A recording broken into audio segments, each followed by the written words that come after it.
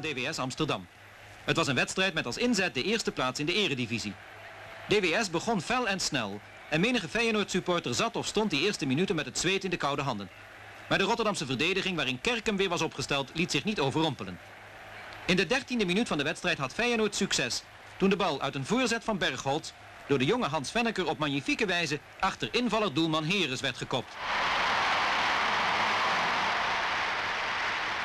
De geschorste DWS-keeper Jongbloed, die op de tribune de wedstrijd volgde, moet wel grote bewondering hebben gehad voor zijn Feyenoord-collega Pieters Graafland, die tot tweemaal toe DWS een droomkans ontnam.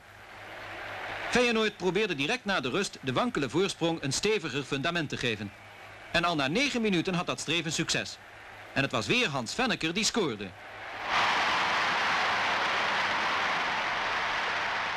Het Rotterdams plezier om de 2-0 voorsprong tegen de landskampioenen wordt begrijpelijk als men bedenkt dat Feyenoord tegen zwakkere clubs twee achtereenvolgende nederlagen had moeten incasseren. Maar voor definitieve vreugde was het nog te vroeg, want DWS bleef gevaarlijk. En nu en dan moest half Feyenoord terugkomen om te helpen bij de verdediging. Maar telkens opnieuw wist de Rotterdamse ploeg zich los te maken en zelf weer in de aanval te gaan. Toch kreeg DWS in de 20ste minuut een tegenpunt. Na een blunder in de Feyenoord achterhoede hoefde Geurtsen de bal maar in het doel te lopen. En met nog 25 minuten te spelen was toen weer van alles mogelijk.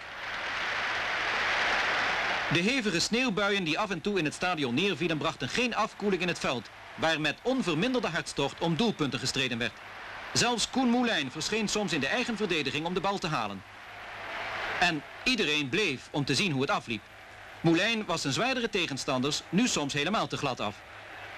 Dat de buien die nu en dan het karakter van complete sneeuwstormen kregen geen afbreuk deden aan het spel, pleit voor de technische vaardigheid en de wilskracht van de twee ploegen.